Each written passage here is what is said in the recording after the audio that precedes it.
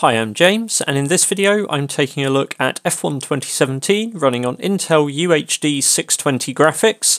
Uh, this is with a Core i5 uh, 8250U processor, and we are running the game at 720p and the ultra low detail presets. These are the defaults that the game chooses for this configuration. Um, you could go lower on resolution, but I really wouldn't recommend it, uh, since once you start dropping below sort of HD ready resolutions, it's really going to look quite poor. Um, but the game does offer quite a wide range of settings uh, on detail, and bring it down to ultra low should give a playable experience on most systems. So we are running this uh, on the benchmark mode, which runs uh, 20 AI cars and gives us an onboard view with Sebastian Vettel here. And what we can see is frame rates they actually average through this run about 30 frames per second. During the first few corners where you have a lot of cars close together, they do drop into sort of the mid 20s. Uh, this obviously isn't ideal. I mean, really, we'd like to see this sort of up around 60 frames per second to match the refresh rate of most panels. I generally say 30 you're going to call like an acceptable compromise.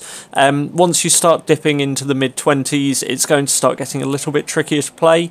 We can still see you have fairly smooth motion.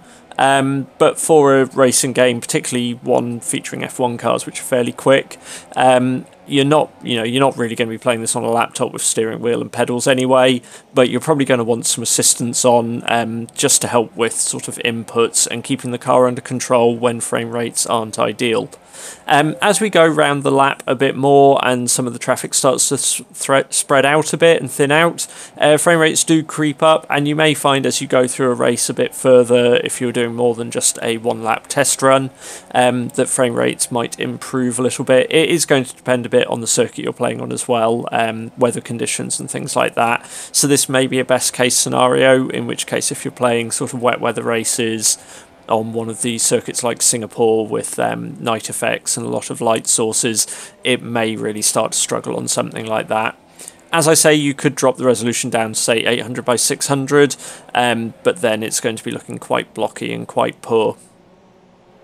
The full stats are displayed at the end of this video, uh, so do take a look at those if you would like, and let us know in the comments below what you would like to see us testing in the future, and hit the subscribe button if you'd like to see those videos as they're posted. Thanks for watching.